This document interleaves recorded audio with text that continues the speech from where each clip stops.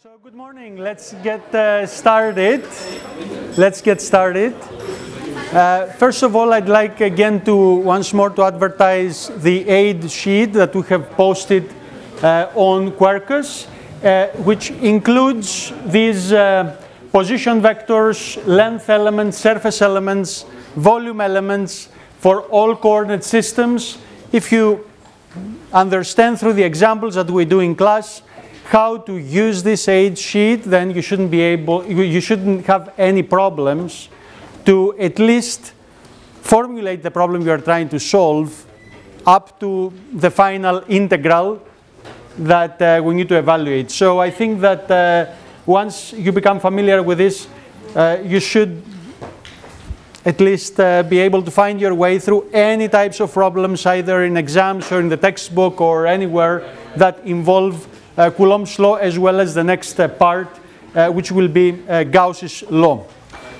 so please download this and try to use it as much as possible as well in the lectures to follow examples like the one that I uh, did on Tuesday, on uh, Monday, and uh, I will repeat, discuss a little bit more, and conclude today. And that was that of the infinite charged plane uh, I have set a coordinate system so that this uh, infinitely charged plane with some constant charge density, rho s sub naught, so this is a constant,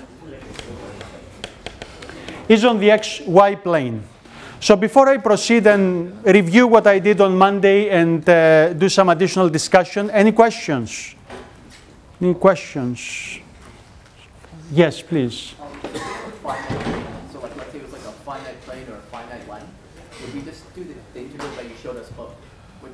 So if it was a finite plane, then simply that integral would have finite bounds and would be more difficult to evaluate. Again, uh, this is a very, uh, this procedure of uh, the four or five steps that we showed is very general up to that integral. Usually because we do examples where we want to work them out to the end, uh, we choose cases where the integral uh, is one known integral that we can provide the formula and evaluate. Uh, but generally, once you have that integral, you can put it in a computer and evaluate the integral numerically. So this is a very powerful method that is being used by software uh, in computational physics to do such calculations. Um, any other questions? Okay, so uh, this is the case. The observation point was on the z-axis, coordinates 0, 0, z.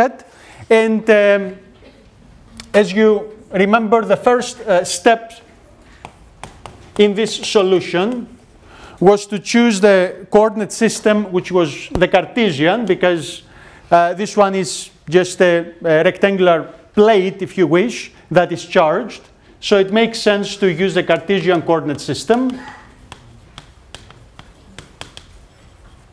Then the second uh, step is to split the distribution or visualize or analyze the distribution as a superposition of point charges and find how would this point charge look like. So here we have a plane.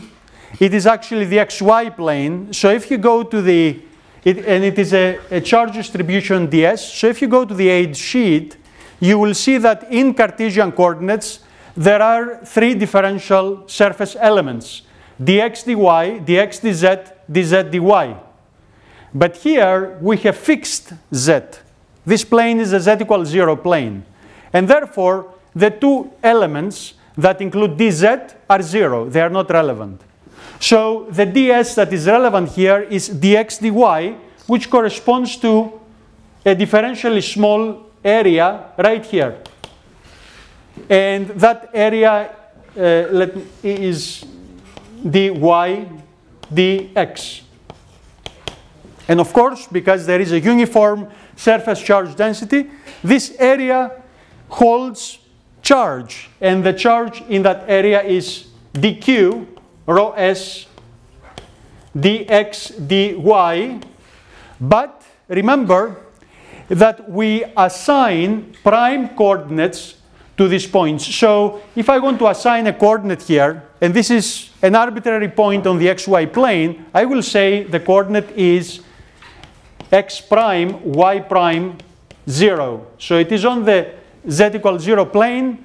And remember, I have to separate the coordinates of the sources and the coordinates of the observation points because I'm running a superposition over the sources, not over the observation points. The observation point is fixed.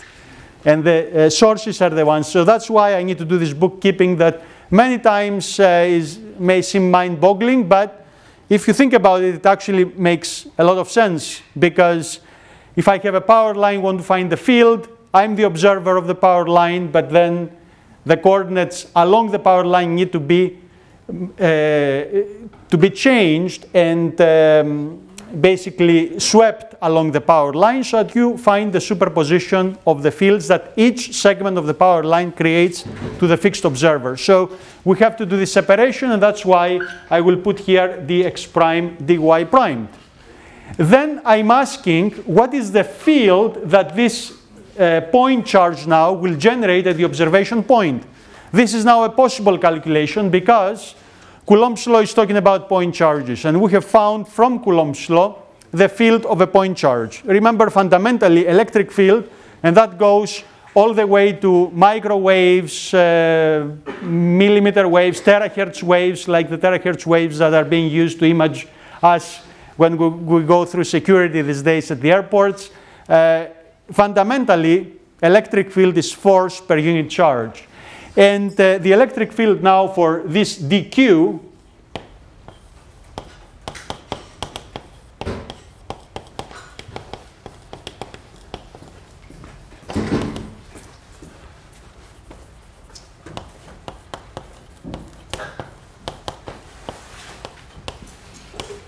at the observation point is equal to this dq now is rho s dx prime dy primed 4 pi epsilon naught. Remember this constant 1 over 4 pi epsilon naught is 9 times 10 to the ninth.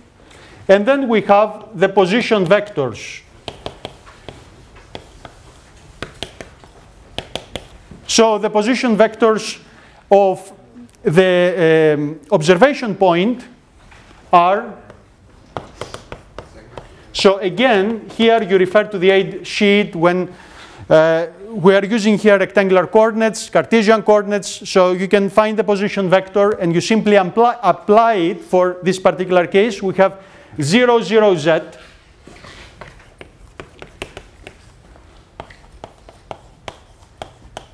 So observation point. 0 x hat plus 0 y hat plus z z hat. And r prime is the position vector of the point charge of the source the q and that is uh, x prime x hat plus y prime y hat plus 0 z hat. So it has only two components. And if I want to find the magnitude of this r minus r prime vector, which is a distance vector, so if you want to visualize it, it is this vector here. So we know from Coulomb's law that the electric field at that point will be along the line that connects dq and the observer and pointing outwards, not inwards, because electric field of because positive charges are sources of electric field lines. So remember the electric field points away from the positive charge and into a negative charge.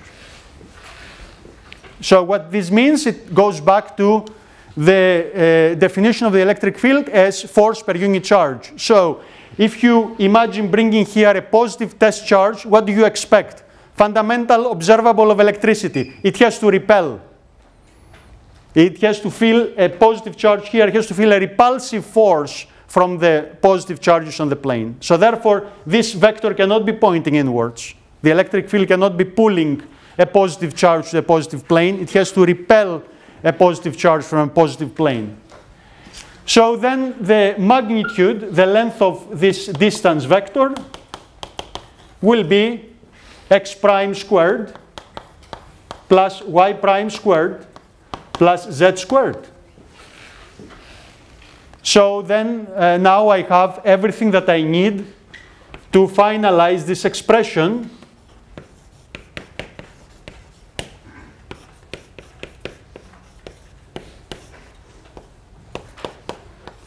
x prime squared plus y prime squared plus z squared. Three halves, I have one half from the square root and three from this power. And then I have this vector x, x, uh, sorry, the vector r minus r primed, which is z, z hat minus x prime, x hat minus y prime, y hat okay, the r minus r prime. So now the last step, or the step before the last, which is the physical interpretation of our result, we have this dx prime, dy prime. The differential elements show you what kind of integral you need to run if you have not already guessed it from the physics of the problem. So obviously here we have to sweep the charge throughout the plane. So the last step for the calculation at least, before the interpretation of the result, is that the total electric field will come from this integral. Maybe I will just write it here so that I have some space. Uh, rho s, uh, sorry, I called it rho s naught just to indicate that it is a constant. Rho s generally is a surface charge density, so let's uh, put there an additional subscript to uh, make sure we understand this is a constant rho s, uh, 1 nanocoulomb per meter square or whatever. So the electric field now will be the integral of dE over the entire plane.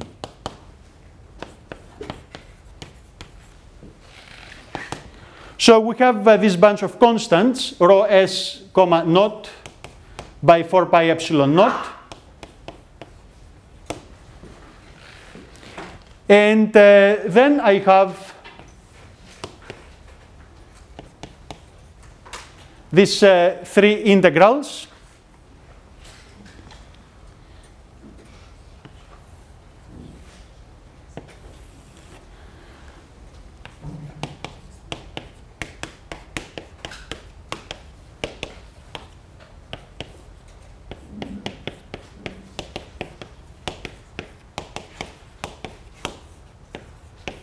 the halves, dx prime, dy prime. Okay, so uh, this is, uh, these are integrals over the entire plane where x prime, y prime vary from minus infinity to plus infinity. And uh, we argued last time that these integrals here will be zero because we have an odd function of x prime divided by an even function of x prime integrated from minus infinity to plus infinity. So you have an odd function integrated over a symmetric interval that gives you zero. And same thing for this one. So those two will actually give me zero integrals. And that means that the only one that remains to be done is this one.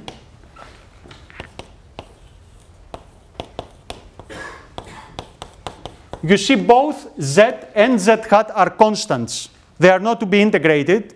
They uh, can be pulled out of the integral. And now inside the integral, uh, we just have dx prime, dy prime, x prime squared plus y prime squared plus z squared, 3 halves. So this is a known integral. I had a typo in my uh, previous lecture, so the result of this is uh, 2 pi divided by absolute value of z. I think in my previous lecture I had uh, missed the pi. So 2 pi over absolute value of z. And then the result is rho s comma 0 by 2 epsilon naught z hat. So we find an electric field that points in the z hat direction. So any questions up to this point, which is the procedure I ran in the previous lecture? Uh, I think he was first. Go ahead. Uh, just one question. Uh, uh why does the x and become zero, like x factorial? So the x bar x, x uh, unit vector and y bar y.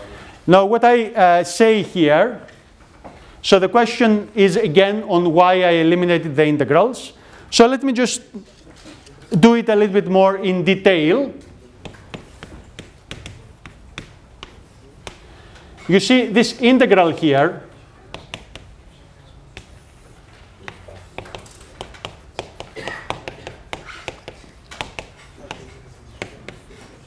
okay, can be split in three integrals. Okay, can be split in three integrals, one for each component. One for each component. So the first component is the z hat. I also take z outside because you see it's not integrated. The integration is done between dx prime, dy prime. Remember, z hat is the coordinate of the observer. The observer is fixed, okay? So z hat, z, so this is the integral that we actually ended up evaluating and it had a non-zero result. And then the second one is this one.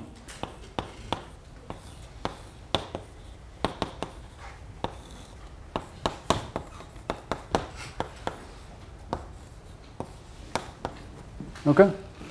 So I argue this integral is an integral of an odd function. Sorry about that. So this integral is an integral of an odd function of x prime over a symmetric interval. Odd function over a symmetric interval. That is a zero integral. So that will come from this first integral over dx prime. And the same thing happens for the next one. Y prime dx prime dy prime.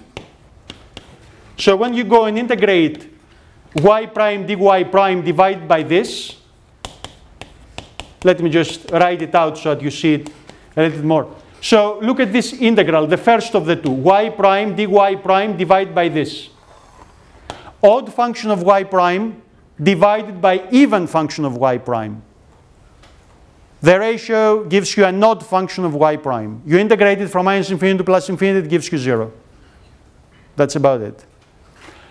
Um, so these two are zero, and that's why you eliminate them. Uh, yes, please, go ahead. So why did you write rho s comma zero for like the uh, the charge at any given dx dy prime? Uh, because I want to emphasize that this charge density is a constant. So if you wish, rho s, the charge density, is rho s comma 0. That is a zero constant. Yes, constant. It's constant throughout the plane. 5 nanocoulombs per meter squared, 1 nanocoulomb per meter squared. Constant everywhere on the plane. So that's the point. So this is the math, really. Uh, but again, uh, we uh, need to make sure that this result makes sense. So what we find here is that if you have this charged plane, the electric field points like this, normal to the plane, and it is actually constant, constant throughout space. Obviously, this constant value is a side effect of our non-physical assumption that we have an infinite plane. For a finite plane, like the charge plane of a capacitor, the electric field would be constant close away from the edges and then would decay with distance uh, away. We'll uh, get to this in a bit. But before I get to this, let me comment again on the direction of the electric field in the z direction. Is that something we could have guessed? So mathematics aside, and that is really important for me that, uh, of course, one can run the integrals and find where the electric field points. But could we have guessed, based on what we know, where the electric field points so that we don't even care about the rules of the integrals uh, with respect to x and y? Yes, you have an idea. We can we can take a symmetric point charge at the other side, and then the z, uh, the uh, x and y coordinates are going to cancel out. Exactly. So the physics of the problem is that if you look at this infinite charge, uh, charged plane, and you have an observation point, 0, 0, z, take this uh, point charge that we considered, this dq. That creates an electric field like this. Well, guess what? Because we have an infinite and not a finite charge distribution, no matter where is that dq, there is a symmetric dq, like this one here, that will create, so this triangle will be an isosceles triangle, will create an electric field of the same magnitude but different direction so that the superposition of the two points in the z direction. So by this argument, I would expect indeed that the electric field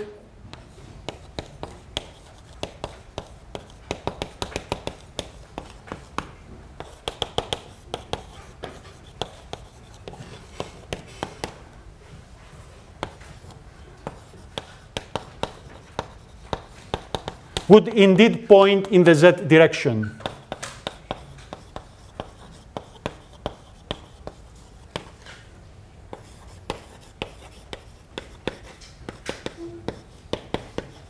So you see the x uh, components or y components, uh, depending on where you take this uh, symmetric charge, all the components that are not along the z-axis would actually cancel out. So this is something that we can see from the physics of the problem. Another feature of our result is that it does not depend on x and y. So here is a question.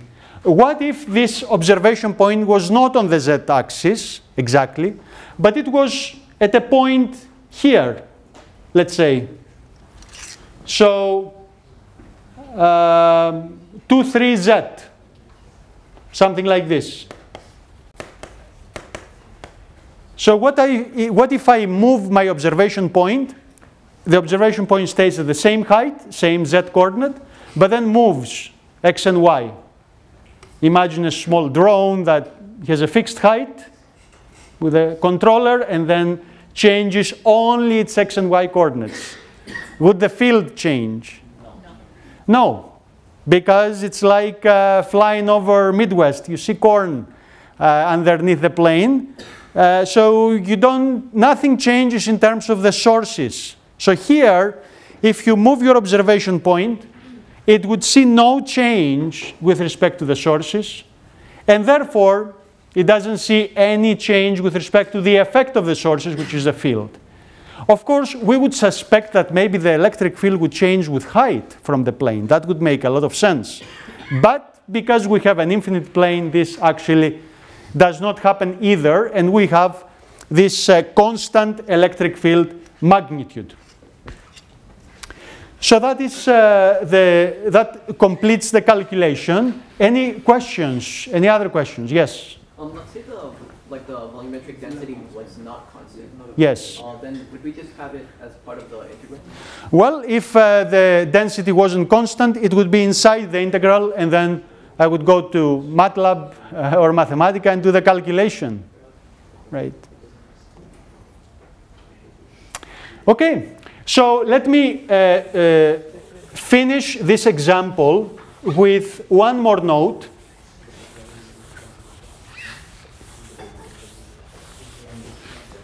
Or two more notes, in fact. So uh, now I'm note three.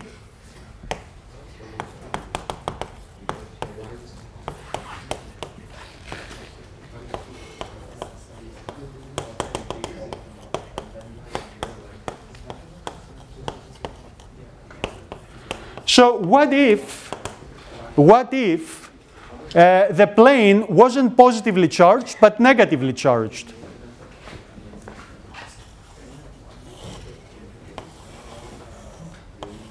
So minus, minus, minus. So what would be the field? You see nothing would change in our calculation. We would simply arrive in an electric field that is, uh, can I, can I uh, have your attention please? As you may learn in communication systems, uh, capacity, that is information rate, bits per second per hertz, is proportional to logarithm of uh, signal to noise ratio. So therefore, as the noise uh, increases, uh, and my signal can only increase that much, I already use a microphone, my information rate will decrease necessarily. That's Shannon's theorem. So going back now to electromagnetics, and electricity in fact, I would say that in this case, if the plane was negatively charged, the electric field would be pointing towards the plane because what we have learned already is that uh, the uh, negative charges are sinks of um, uh, electric fields.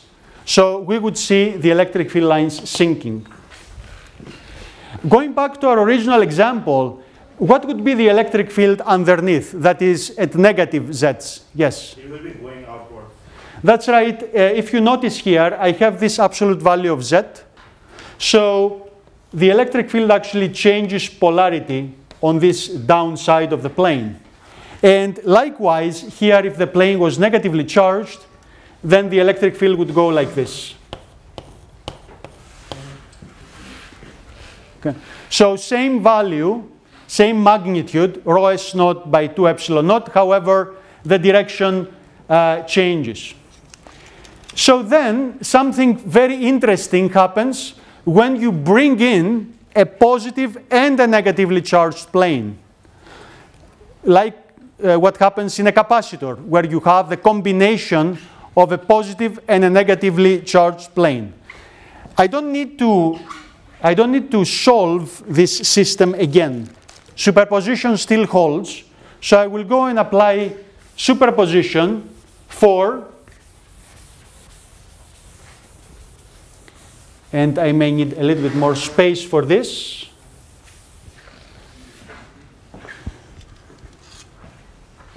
So my question here is electric field in a capacitor.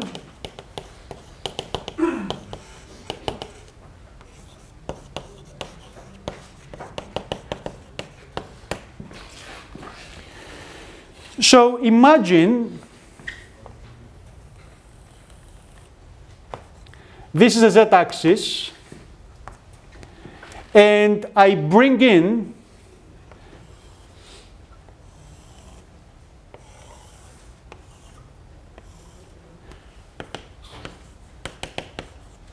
at z equal h a positively charged plane.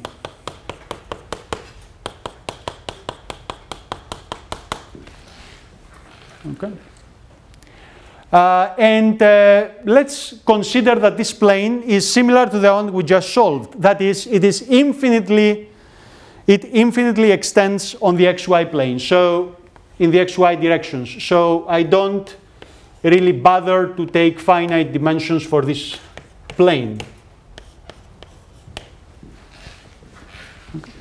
So as we saw now, the electric field will be like this.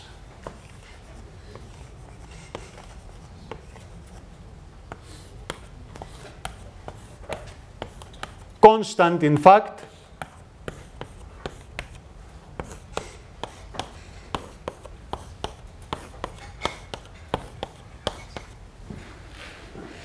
equal to rho s by 2 epsilon naught in terms of magnitude.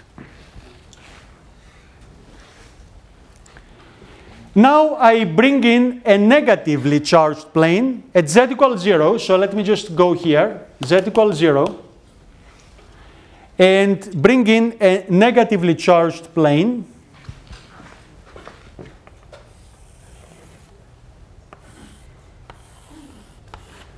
Like this. Again, of infinite extent in the x and y direction. So as you see, I formed a capacitor.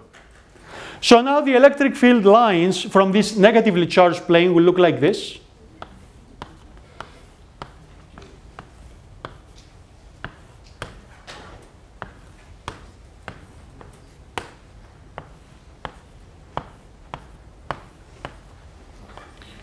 So I'm trying to draw the arrows to have all the same length because, as we just saw, the magnitudes of those fields will remain constant throughout space.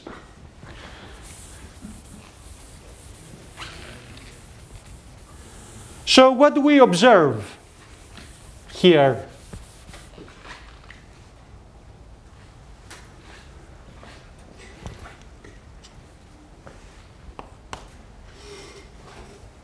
Yes. So you see, not inside the capacitor. So inside the capacitor, the fields point in the same direction. And they, in fact, reinforce each other. So you have, on this side, rho s by 2 epsilon naught times 2, rho s by epsilon naught. And then, in all other parts of space, we actually have a cancellation of those two fields. So applying superposition, you find out that this capacitor, as you would expect, because uh, we have considered infinite plates, right?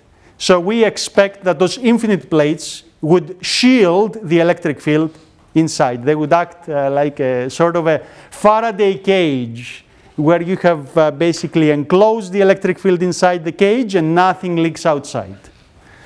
Uh, so you add those two, and indeed that's what we see that happens. And we have the electric field pointing from the positive plate to the negative plate. Uh, that is uh, probably a result you have uh, seen before. And in terms of the electric field expressed in this coordinate system, you see that the electric field lines point in the minus z direction. And they come from the superposition of the two plates individually.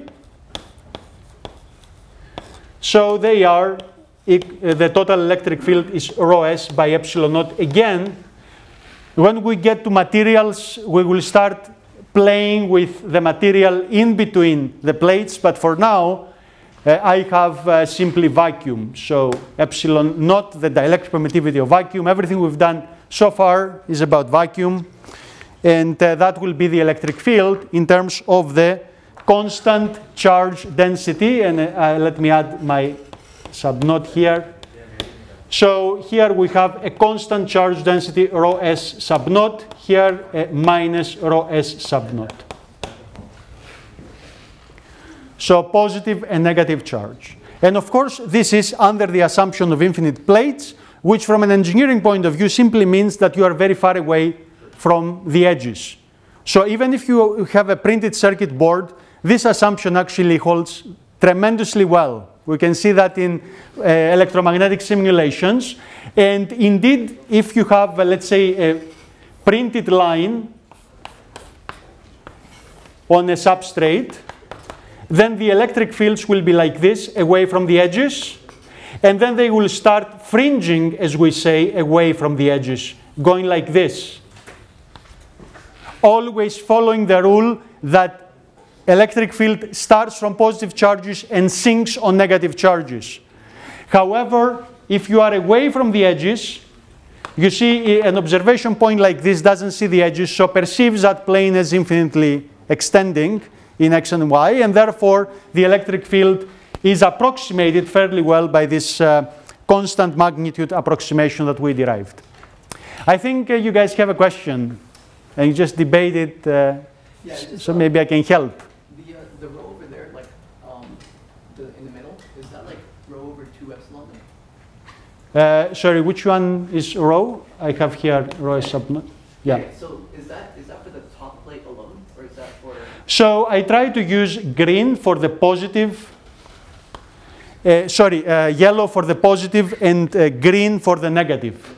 I don't know if the colors uh, show up, but uh, that was the intention. So the green lines are for the negatively charged plane. If you have any doubt, or if I have a typo in my notes, think about the basic rule. The lines will just sink on negative charges and will emanate from positive charges. So Sometimes I'll be making mistakes, but the so uh, but uh, the, this basic rule always can help you navigate. So you see the positive charges are here. So the yellow field lines will always point away from the positive charges. Yeah, and then is, is that equation for just the top plate alone, or is it for, for like, Yes, uh, so this is for the yellow, and there is another rho s by 2 epsilon naught in terms of magnitude for the negative. Right? So it's what we just calculated. Yes. Can you go over the fact where you were showing like when two plates are uh, like in parallel to one another, the edges splits up or gets seen? The one here. Well, you see, to, to get this pattern, and I can uh, show you more in next lecture, you need a full simulator.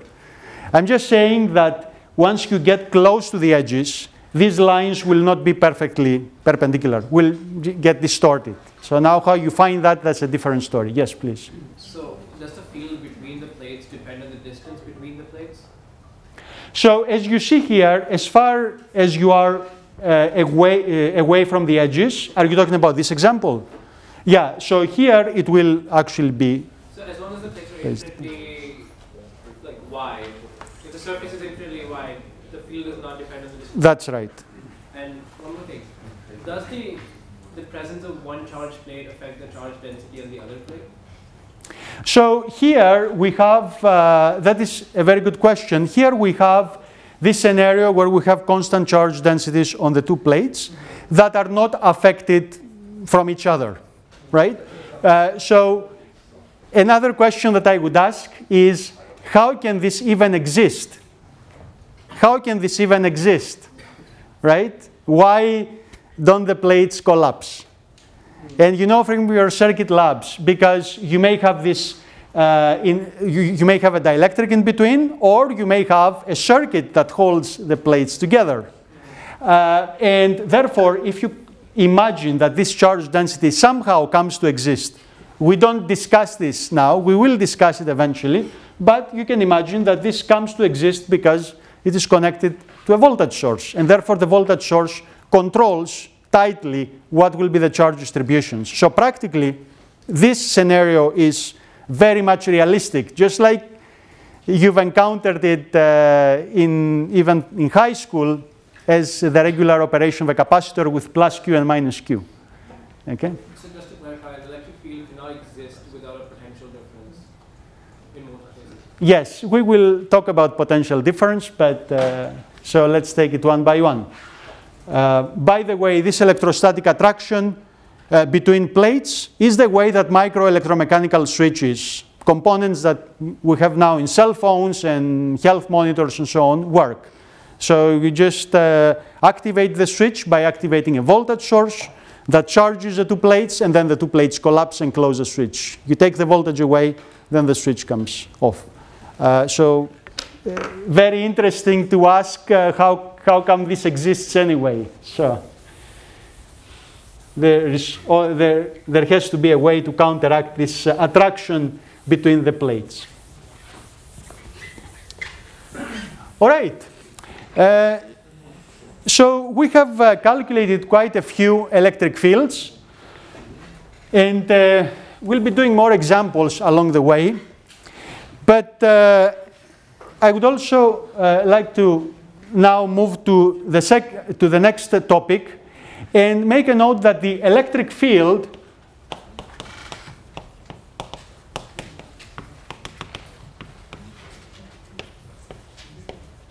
satisfies some fundamental equations. Your textbook starts from those and calls them Maxwell's equations for uh, electrostatics. And um, they are both referring to closed structures. The first one on a closed surface, the second one on a closed path. So the electric field, or the electrostatic field to be more precise, because we're talking about electric fields from point charges, satisfies, first of all, Gauss's law. And Gauss's law says that if you take a closed surface,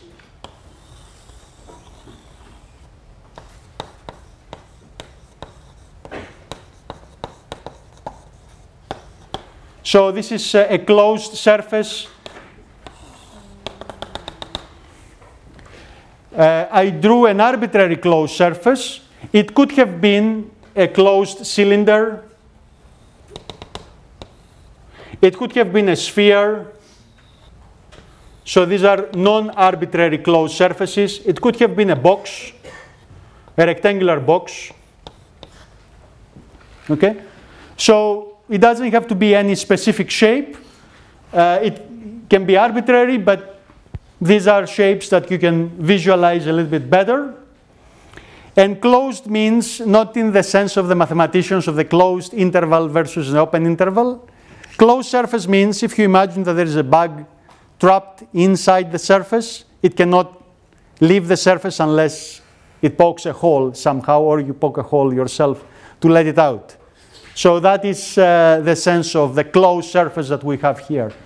And Gauss's law says that if you take this surface integral through the surface of the electric field, and what we call here ds is the differential surface element. Again, I point you to the uh, aid sheet where we have the differential surface elements, ds, uh, for different coordinate systems. So you can imagine that you draw a small patch of surface on this surface and this ds points outwards. So this is uh, a vector that points outwards. We call this integral a flux integral uh, because uh, you see we have here this dot product uh, between the electric field and ds. So imagine, for example, that you had uh, this cylinder here. The ds on the top of the cylinder would be this. And imagine the electric field lines were like this. E dot ds would in this case be zero because the dot product between two perpendicular vectors is zero. And you see indeed these lines don't cut the top. So E dot ds zero is E dot ds is a measure of the flux of these electric field vectors through a given area. And it can be uh, large, it can be small, it can be positive, it can be negative. Remember that uh, when you have the dot product between two vectors that point in the same direction, this is positive. And if they point in different directions, the dot product is negative. So dot product is always a scalar. It maps two vectors to a scalar quantity that can be 0, positive, negative. And uh, it is negative when the two vectors are perpendicular. Let me just point, uh, add this case here.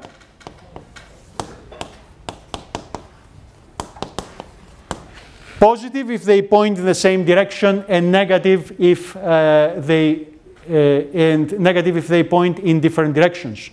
So Gauss says that if you do this dot product, this will be equal to the charge Q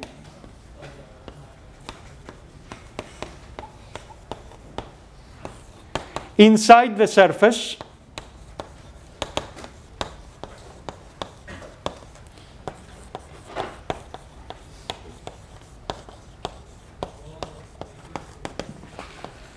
So the total charge inside the surface, Q enclosed. So that charge would be supported within the volume, let me call this volume V, uh, that is defined by this closed surface. And let me give you an example where this law becomes very easy to understand, and that example is the case of the point charge.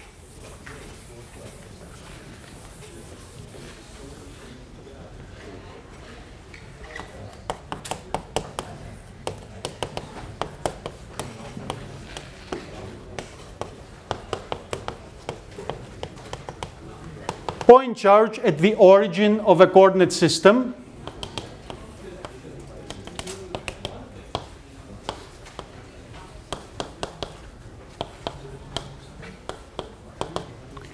So this is our charge. It's at the origin. Let's take it as positive charge Q. And we know that the electric field of this charge would be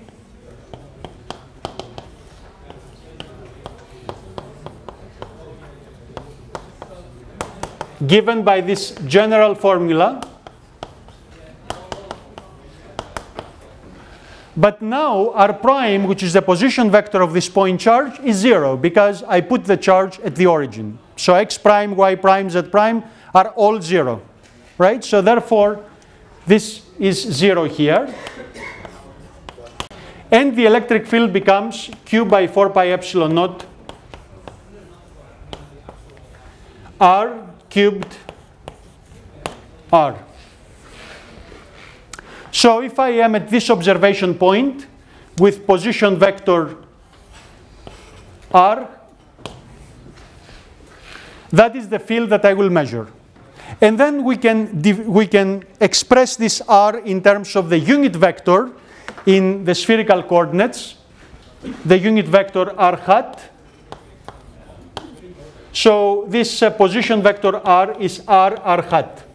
Again, you can find this in the aid sheet, first line for uh, the, the uh, spherical coordinate system.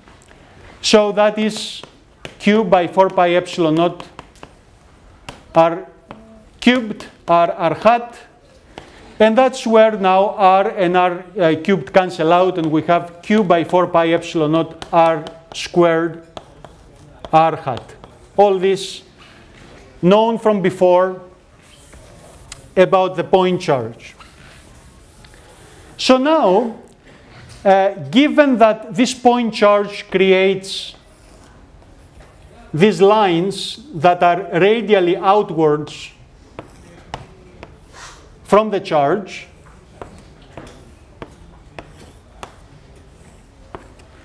I can apply Gauss's law instead of picking a surface that is arbitrary it makes sense now that I have a field that is spherically symmetric to choose a sphere. So Gauss's law says no matter what, the, the law will hold, no matter what surface you pick. But for my convenience, I can take a sphere. So I will apply the law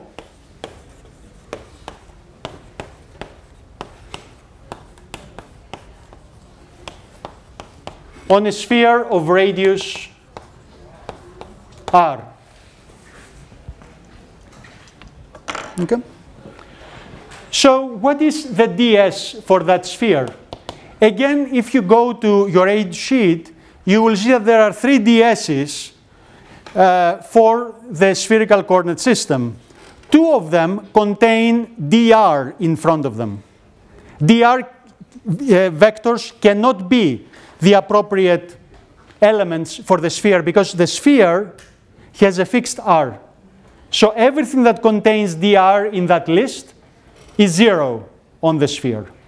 The sphere is a shape that you define by fixing this radius r.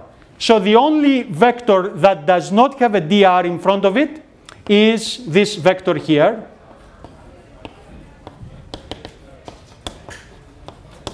d theta d phi. And this is really a vector that you can visualize as a small area on the sphere and uh, the vector pointing outwards. So now if I form this flux integral,